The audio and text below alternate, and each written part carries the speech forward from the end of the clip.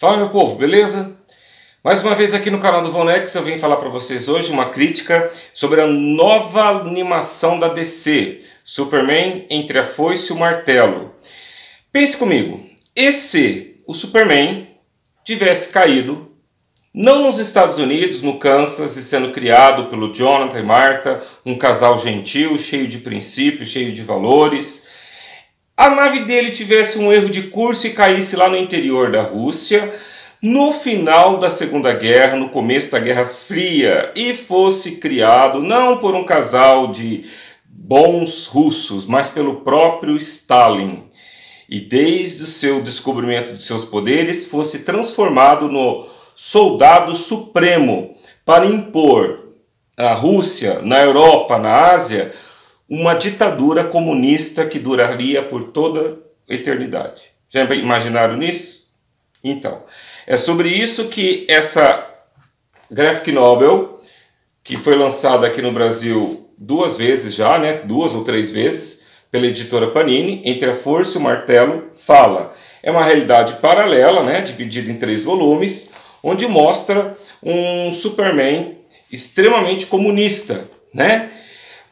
Bom, mas não é sobre HQ que eu quero falar. Esse HQ aqui eu ganhei de um amigo muito querido, espero que ele tenha assistido esse vídeo, tá? Ó, tá guardadinho aqui, viu, Jefferson? Tá muito bem conservado, né? E eu li e reli umas 10 vezes.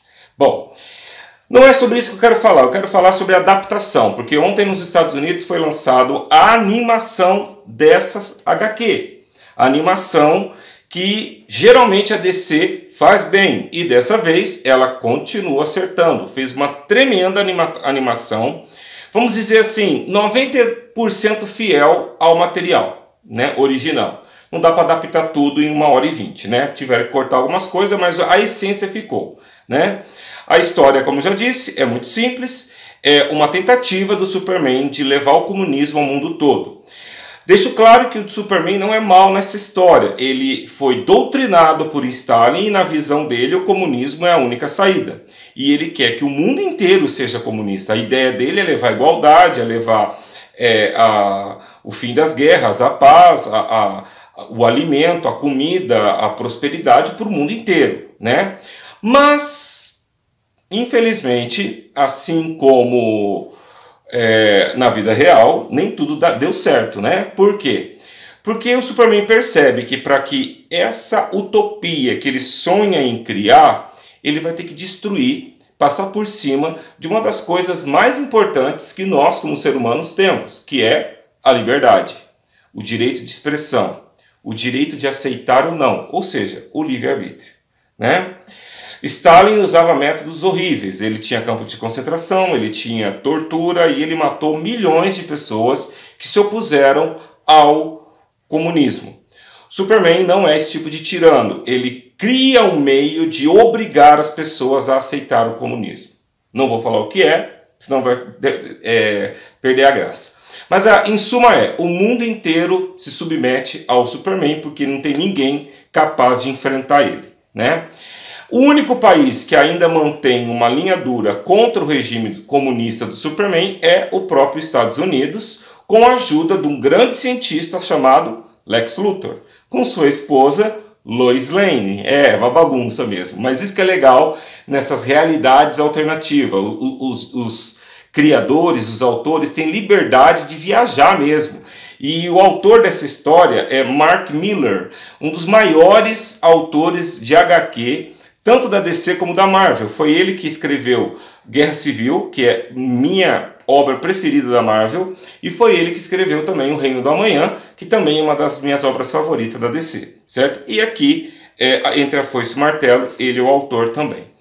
Pois é, qual que, são as vantagens, da, da, os pontos fortes, melhor dizendo, dessa animação? Primeiro, muito bem desenhado, gráficos perfeitos, ação do começo ao fim, não é para criança, é censurado porque tem muito sangue, muita explosão, muita gente explodindo, certo? Então, menor de 15 anos nem pensa em assistir porque é violento. É uma animação voltada mais para o adolescente adulto, vamos dizer assim. Sem contar que é uma questão é, muito política, né? Criança que está acostumada a assistir Cartoon Network e TV Globinho não vai entender nada. Então é melhor para quem tem mais, né? Vocês entenderam. Bom, além da parte forte que é a ação, que é muita, né? Nós temos aí um Superman o qual eu nunca tinha visto nem animação, que é extremamente poderoso. Eu não sei se lá na Rússia o, tem mais radiação solar, mas deixou ele muito poderoso. Tipo assim, ele derrota com facilidade os exércitos. Tem sim a tropa do lanterna, dos Lanternas Verdes e ele derrota facilmente. Ele derrota a invasão alienígena, ele derrota tudo, tentando proteger o povo, mas ao mesmo tempo querendo colocar o regime comunista dele, né? Tá. É... Momentos marcantes da animação, sem revelar muita coisa. O confronto do Superman com o Stalin, quando ele descobre que o Stalin estava torturando e aprisionando pessoas e matando também quem era contra o regime dele. É um momento what the fuck, né? Que você fala, ai minha nossa, que que é isso? Esse é o primeiro momento da animação. Segundo, o momento que o Batman aparece. Sim, nessa animação temos um Batman em plena Guerra Fria. Só que não é o Batman justiceiro, preocupado com o povo, como vocês estão acostumados. É mais um Batman terrorista. E um Batman completamente insano. Eu nunca vi em nenhuma animação um Batman tão insano como esse. É um Batman cheio de ódio, cheio de, de, de, de querer se vingar, que vê no Superman toda a, a, simbologia do comunismo que tanto massacrou a família dele lá nos campos de concentração. E vocês vão ver atitudes do Batman que vão deixar vocês também, what the fuck, né? Que fã nenhum esperava que o Batman ia fazer. Não vou dizer o que é, surprise, assista a animação, certo? É, Críticas a respeito da animação. O que eu não gostei. Primeiro, que a Mulher Maravilha, que nas HQs ela tem uma importância muito grande, ela é essencial, tem a sua importância. Na animação ela está ali como uma coadjuvante que se tirasse ela, a história ficaria legal do mesmo jeito. Né? Ela tem sim umas participações tal, mas não é aquela participação essencial. Então eu achei que, a, que ela foi pouco explorada. Segundo ponto fraco, eu não gostei da voz que colocaram do Superman. Eu estou dizendo na versão americana, tá? Não saiu ainda a versão dublada. E eu achei que o ator que colocaram para fazer a voz do Superman, um ator que a voz que não tem nada a ver, parece ser muito mais velha que o próprio Superman na animação, nos traços dele. Então eu não gostei. Espero que no Brasil eles coloquem o Guilherme Briggs, que é o dublador oficial do Superman em todos os filmes, todas as animações para eu assimilar aquela voz que eu já estou acostumado, certo? Bom, é, e talvez o ponto mais triste, que eu realmente me decepcionei. O final desse HQ, pessoal, é épica, tipo assim, é psicodélico. O Mark Miller deve ter ficado dias, meses pensando qual final mais top que eu posso criar. Pois é, ele criou um final top. E acredite, não é esse aqui não, tá? Eu não estou dando spoiler não é um final que, tipo assim, nem o maior gênio dos gênios de HQ ia adivinhar, certo? E eu cruzei os dedos, torci, eu quero ver isso na animação, eu quero ver isso na animação. De repente, quando chega no ápice, quando vai revelar o final, que seria o da HQ, sendo que a animação toda foi fiel ao HQ, eles mudam o final.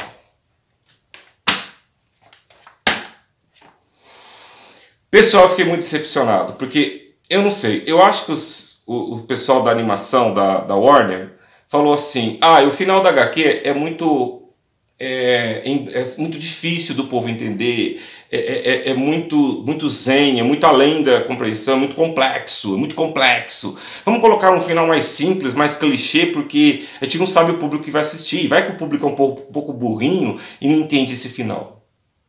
A ideia era aquele final simples. Não é um final bosta, não é. Quem não conhece o HQ não vai se decepcionar. Mas quem lê o HQ vai se decepcionar. Vou dar só uma diquinha. Não tem o final ele se remete à origem do Superman, a origem, a chegada dele na Rússia. E só tem uma coisa, não tem nada a ver com Krypton. É isso aí. Não tem nada, nada a ver com Krypton. Então, só por aí dá para ter uma, uma, noção, né? Do que, que, será que é? Não, ele não foi criado é, pelo Stalin, como que eu falei no começo, não. Ele cai realmente uma nave ali, né? E é achado no interior da Rússia, tal, tal. Mas não é de Krypton, então cabe a vocês a ler o HQ e descobrir por si só. Vale a pena, pessoal, pelas lições e olha, é demais. Tirando, quer dizer, as últimas animações da DC, a morte do Superman, o retorno do Superman já foram épicas. Essa daí realmente é top. Se eu, quem gosta das animações da DC vai com certeza colocar essa como uma das melhores, certo? Recomendo você assistir, você que é fã. E agora eu vou deixar aí o trailer para você se animar e já procurar essa animação, beleza? Até a próxima. Look, up in the sky! Get the best you've got. Extraordinary reports coming out of the Soviet Union. Tales of a being with powers and abilities far beyond those of mortal men. As I said, Mr. President, of course I understand your concern, but I assure you the Luthor Company has this under control. I don't blame those among you that fear me, for you've been taught to fear all your lives. This is a world where the strong rule. And you are the strongest of all of us. It is only a matter of time, very little time, until all of Western Europe is absorbed, is taken by the Soviet Superman. Look alive, Lanterns. We've got incoming. I'm honored to have you here, Ambassador. Call me Diana. And what shall I call you? Superman. You think you're going to stop me, Batman?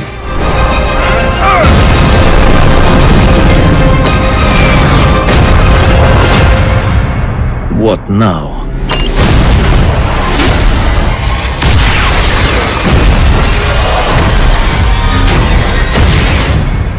Now I save the world.